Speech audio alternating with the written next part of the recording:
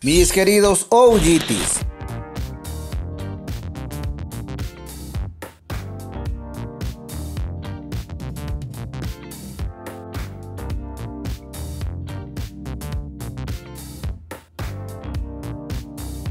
Obviamente es un tema que pues duele, lastima y yo siento que ya, o sea, no le debo explicaciones a nadie y que ya dije lo que tenía que decir y ahí quedó, ¿no? O sea, y otro tema que también es muy importante es el tema de la salud este, mental. Me preguntan mucho, eh, muchas personas que se identifican conmigo con temas de la depresión, que no saben qué hacer.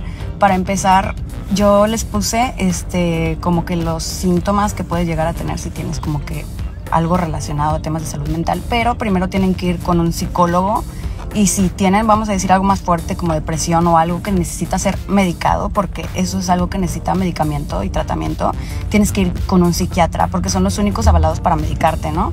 Entonces, obviamente hay mucha gente que ataca, así como hay gente que se, se identifica, hay gente que ataca y también de que, ah, que yo no soy profesional y que no puedo estar dando consejos. Yo sé, obviamente yo estoy hablando desde mi desde lo que yo viví, pero a final de cuentas ustedes tienen que ir con un psicólogo y un psiquiatra para que ya ahora sí les dé el diagnóstico final de qué es lo que tienen y los puedan medicar porque realmente es muy difícil. Sí se puede salir solo, pero es muy difícil hacerlo sin.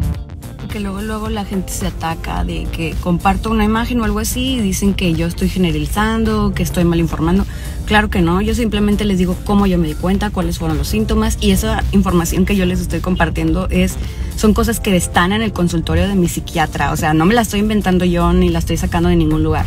Entonces, yo así me di cuenta, obviamente primero también investigué en internet, vi cosas y fui también con un especialista, o sea, es literal ir con alguien, con un especialista que te diagnostique y ahora sí a partir de ahí tratarte y salir adelante, o sea, no es algo que salgas en un mes o así, para mí han sido meses difíciles. Afortunadamente ahorita me siento muy bien, pero no he dejado mi medicamento. O sea, sigo todavía medicada, sigo yendo a terapia, sigo con eso. O sea, a final de cuentas es una lucha que cada uno tenemos que llevar y pues echarle muchas ganas, la verdad.